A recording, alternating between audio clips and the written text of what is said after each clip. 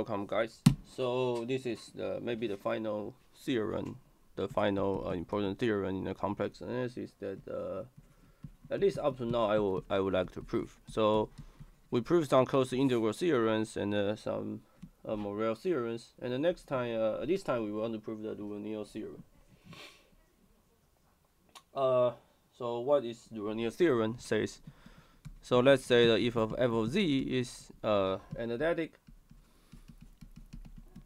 uh, on a whole complex plane and f is bounded.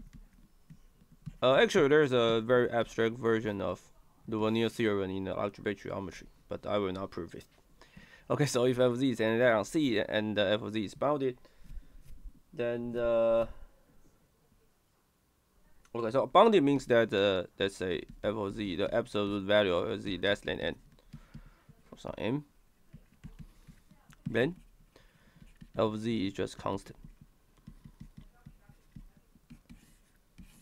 So only constant function can survive like uh, analytic on C. Okay. Okay, so uh, yeah, that's it.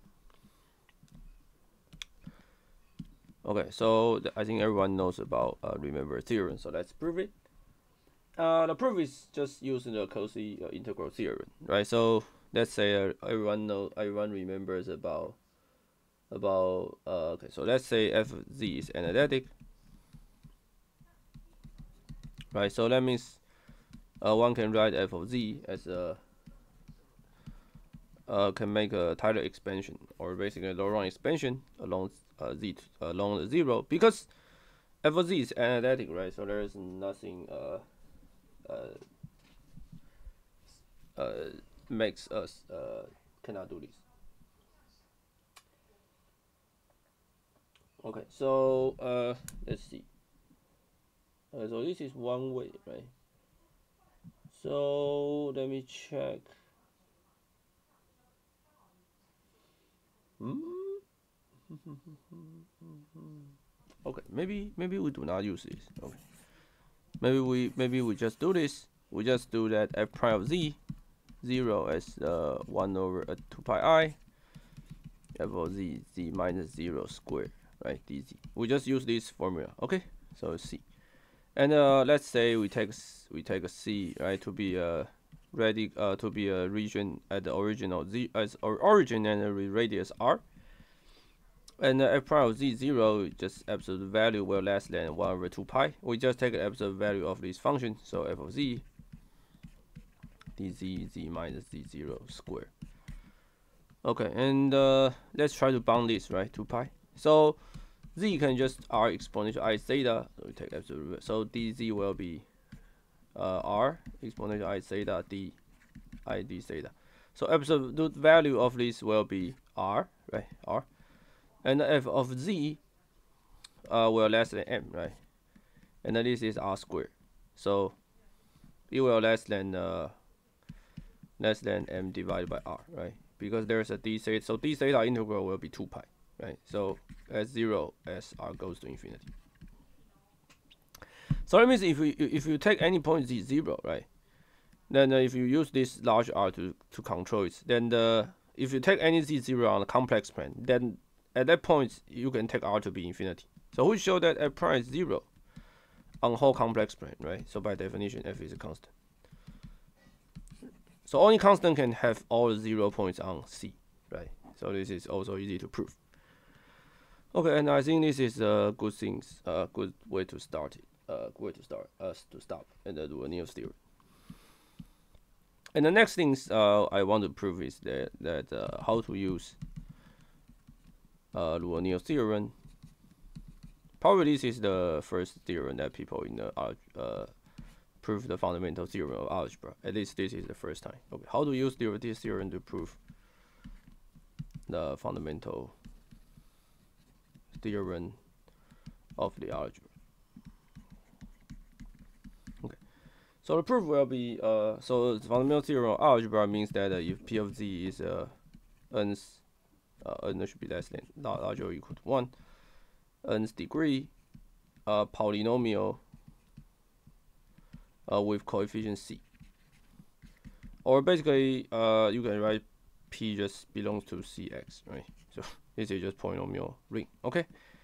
Then P has uh, n roots. Okay, so uh, so when I prove it, I only prove that P has one root, right?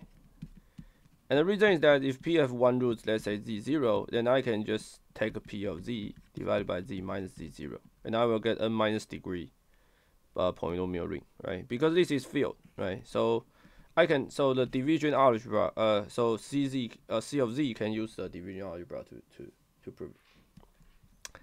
Okay, so let's prove this uh famous theorem. So the proof is that uh, I just take G to be uh, 1 over PZ.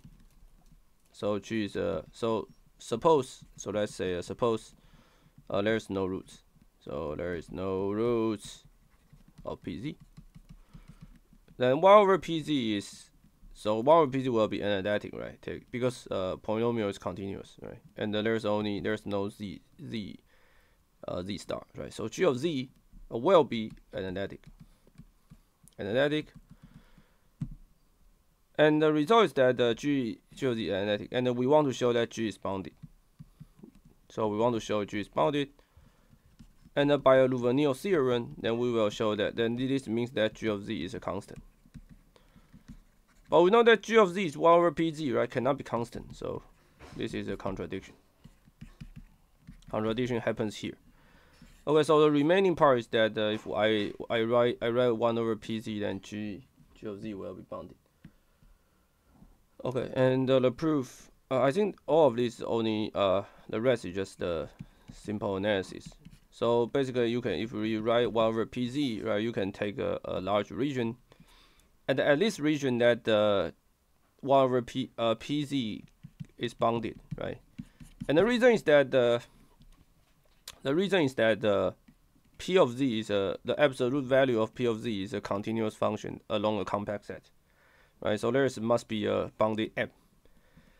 Then next, you just take a you just try to bound this bounded this right by uh, assume that z larger than r.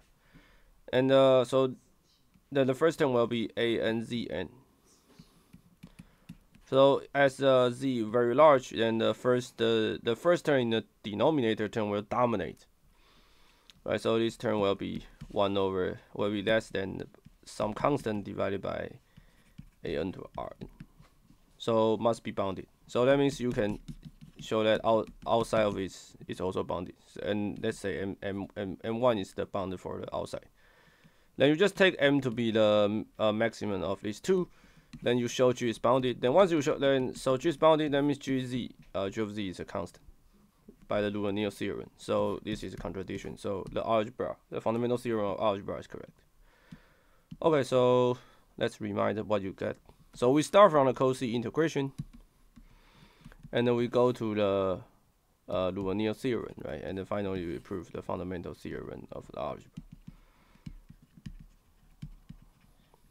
Okay, so maybe next time I will provide a very, a very uh, abstract proof for the Liouville theorem in a algebraic geometry.